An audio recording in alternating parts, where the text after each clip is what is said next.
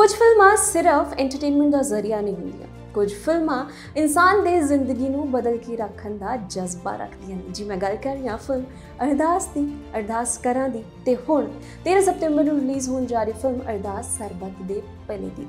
ਜਦੋਂ ਸਭ ਨੇ ਅਰਦਾਸ ਤੇ ਅਰਦਾਸ ਕਰਾਂ ਫਿਲਮ ਦੇਖੀ, ਉਹਨਾਂ ਫਿਲਮਾਂ ਨੇ ਸਾਡੇ ਸਾਰਿਆਂ ਦੇ ਉੱਪਰ ਬਹੁਤ ਪੋਜ਼ਿਟਿਵ ਇੰਪੈਕਟ ਪਾਇਆ ਅਸੀਂ ਅਕਸਰ ਜ਼ਿੰਦਗੀ ਦੇ ਵਿੱਚ ਹਤਾਸ਼ ਹੁੰਨੇ ਆ ਨਿਰਾਸ਼ ਹੁੰਨੇ ਆ ਔਰ ਬਹੁਤ ਸਾਰੇ ਲੋਕ ਕਈ ਵਾਰ ਹਾਰ ਜਾਂਦੇ ਨੇ ਜ਼ਿੰਦਗੀ ਤੋਂ ਤੇ ਆਪਣੀ ਜ਼ਿੰਦਗੀ ਨੂੰ ਵੀ ਖਤਮ ਕਰਦੇ ਨੇ।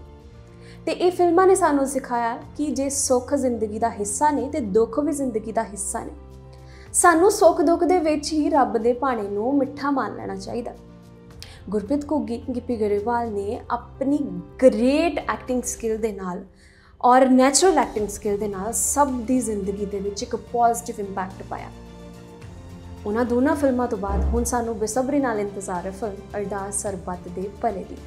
ਇਸ ਦਾ ਟ੍ਰੇਲਰ ਕੱਲ ਆਊਟ ਹੋਇਆ ਔਰ ਟ੍ਰੇਲਰ ਦੇਖਣ ਤੋਂ ਬਾਅਦ ਸੱਚੀ ਦਿਲੋਂ ਬਹੁਤ ਪੋਜ਼ਿਟਿਵਿਟੀ ਨਿਕਲੀ, ਦਿਲੋਂ ਬਹੁਤ ਦੁਆਵਾਂ ਨਿਕਲੀਆਂ ਫਿਲਮ ਦੀ ਪੂਰੀ ਟੀਮ ਦੇ ਲਈ ਕਿ ਜਿੱਥੇ ਅਸੀਂ ਅੱਜ ਬਹੁਤ ਸਾਰੀਆਂ 네ਗੇਟਿਵ ਚੀਜ਼ਾਂ ਸੋਸਾਇਟੀ ਦੇ ਵਿੱਚ ਦੇਖ ਰਹੇ ਹਾਂ ਔਰ ਐਂਟਰਟੇਨਮੈਂਟ ਦਾ ਨਜ਼ਰੀਆ ਇੱਕ ਬਦਲ ਕੇ ਰੱਖਿਆ ਗਿਆ ਹੈ। ਉਸ ਕੰਟੈਂਟ ਬੇਸ ਸਿਨੇਮਾ ਦੇ ਵਿੱਚ ਇੱਕ ਐਸਾ ਕੰਟੈਂਟ ਲੈ ਕੇ ਆਣਾ ਜੋ ਕਿ ਇਨਸਾਨ ਦੀ ਜ਼ਿੰਦਗੀ ਨੂੰ ਪੋਜ਼ਿਟਿਵਲੀ ਬਦਲਣ ਦਾ ਦਮ ਰੱਖਦਾ ਹੈ। ਕਾਬਿਲੇ ਤਾਰੀਫ ਹੀ ਹੋ ਗਿਆ ਫਿਲਮ ਦੀ ਪੂਰੀ ਟੀਮ ਔਰ ਫਿਲਮ ਦਾ ਟ੍ਰੇਲਰ ਬਹੁਤ ਜ਼ਿਆਦਾ ਇਮੋਸ਼ਨਲ ਹੈ।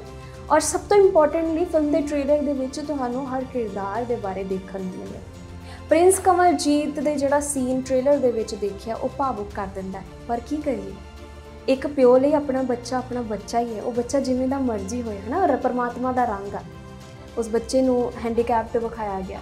ਪਰ ਕਿਵੇਂ ਇੱਕ ਪਿਓ ਇੱਕ ਮਾਂ ਆਪਣੇ ਬੱਚੇ ਨੂੰ ਛੱਡ ਦੇ ਹੋ ਹੀ ਨਹੀਂ ਸਕਦਾ। ਪਰ ਕਦੀ ਨਾ ਕਦੀ ਉਹ ਪਿਓ ਵੀ ਟੁੱਟਦਾ, ਉਹ ਪਿਓ ਵੀ ਹਾਰਦਾ ਗਿੱਪੀ ਗਰੇਵਾਲ ਨੇ ਮਲਕੀਤ ਰੌਣੀ ਦੇ ਨਾਲ ਪਿਓ ਪੁੱਤ ਦਾ ਰਿਸ਼ਤੇ ਨੂੰ ਪੋਰਟਰੇ ਕਰਦੇ ਹੋਏ ਨਜ਼ਰ ਆ ਰਹੇ ਨੇ ਟ੍ਰੇਲਰ ਦੇ ਵਿੱਚ। ਕਿਵੇਂ ਕਈ ਵਾਰ ਪਿਓ ਪੁੱਤ ਦੇ ਵਿੱਚ ਮਿਸਅੰਡਰਸਟੈਂਡਿੰਗਸ ਰਹਿੰਦੀਆਂ ਨੇ। ਬਹੁਤ ਸਾਰੀਆਂ ਚੀਜ਼ਾਂ ਟ੍ਰੇਲਰ ਦੇਖਣ ਤੋਂ ਬਾਅਦ ਨਾ ਇੱਕ ਕਿਉਰਿਓਸਿਟੀ ਵਧਾ ਰਹੀਆਂ ਨੇ ਕਿ ਇਸ ਵਾਰ ਕੀ ਹੋ ਰਿਹਾ ਵਕ ਗੁਰਪ੍ਰੀਤ ਕੁੱਗੀ ਹਮੇਸ਼ਾ ਦੀ ਤਰ੍ਹਾਂ ਆਪਣਾ ਕੰਮ ਕਰਦੇ ਨਜ਼ਰ ਆ ਰਹੇ ਨੇ ਔਰ ਉਹਨਾਂ ਦਾ ਕੰਮ ਹਮੇਸ਼ਾ ਦੀ ਤਰ੍ਹਾਂ ਸਰਾਹਨਾਯੋਗ ਆ। ਜਿਸ ਤਰੀਕੇ ਦੇ ਨਾਲ ਉਹ ਚੀਜ਼ਾਂ ਨੂੰ ਲੋਕਾਂ ਅੱਗੇ ਪ੍ਰਸਤੁਤ ਕਰਦੇ ਨੇ ਨਾ ਲੋਕ ਕੰਡੇ ਖੜੇ ਹੋ ਜਾਂਦੇ ਨੇ। ਗਿੱਪੀ ਗਰੇਵਾਲ ਨੇ ਇਸ ਫਿਲਮ ਦੀ ਕਹਾਣੀ ਨੂੰ ਲਿਖਿਆ ਵੀ ਹੈ ਤੇ ਇਸ ਫਿਲਮ ਨੂੰ ਡਾਇਰੈਕਟ ਵੀ ਕੀਤਾ। ਔਰ ਇਸ ਫਿਲਮ ਦਾ ਟਾਈਟਲ ਟਰੈਕ ਨਛੱਤਰ ਗਿੱਲ ਦੀ ਆਵਾਜ਼ ਦੇ ਵਿੱਚ ਜਦੋਂ ਰਿਲੀਜ਼ ਹੋਇਆ ਤੇ ਸੱਚੀ ਉਹ ਦਿਲਾਂ ਨੂੰ ਛੂ ਗਿਆ ਕਿ ਅਰਦਾਸ ਸਰਬੱਤ ਦੇ ਭਲੇ ਦੀ ਹੁੰਦੀ ਹੈ। ਅਸੀਂ ਹਮੇਸ਼ਾ ਆਪਣੀ ਮਹਿਮੇ ਦੇ ਵਿੱਚ ਬਿਜ਼ੀ ਹੋ ਜਾਂਦੇ ਆ ਪਰ ਜਦੋਂ ਤੁਸੀਂ ਜੱਗ ਦਾ ਮੰਗਦੇ ਹੋ, ਜਦੋਂ ਸਭ ਦਾ ਮੰਗਦੇ ਹੋ, ਤੇ ਰੱਬ ਤੁਹਾਡੀਆਂ ਝੋਲੀਆਂ ਵੀ ਭਰਦਾ ਹੈ।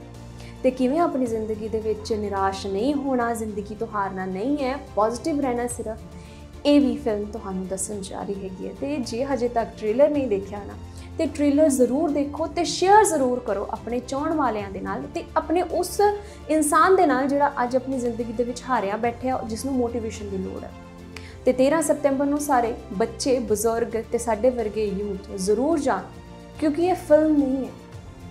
ਇਹ ਇੱਕ ਮੋਟੀਵੇਸ਼ਨ ਹੈ, ਇਹ ਇੱਕ ਜਜ਼ਬਾ ਦੇਣ ਜਾ ਰਹੀ ਹੈ ਕਹਾਣੀ ਔਰ ਤੁਹਾਡੀ ਡੈਫੀਨਿਟਲੀ ਕਿਤੇ ਨਾ ਕਿਤੇ ਤੁਹਾਡੀ ਲਾਈਫ ਦੇ ਵਿੱਚ ਕੋਈ ਨਾ ਕੋਈ ਬਦਲਾਅ ਜ਼ਰੂਰ ਇਹ ਫਿਲਮ ਲੈ ਕੇ ਆਏਗੀ।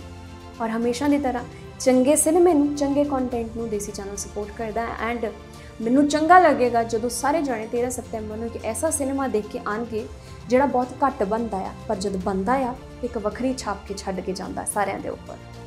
ਤੇ ਅੱਜ ਲਈ ਇੰਨਾ ਹੀ। ਜਲਦੀ ਮੁੜ ਕੇ ਹਾਜ਼ਰ ਹੋਣੇ ਆ ਤਦ ਤੱਕ ਲਈ ਤੁਹਾਡਾ ਸਾਡਾ ਰੱਬ ਰੱਖਾ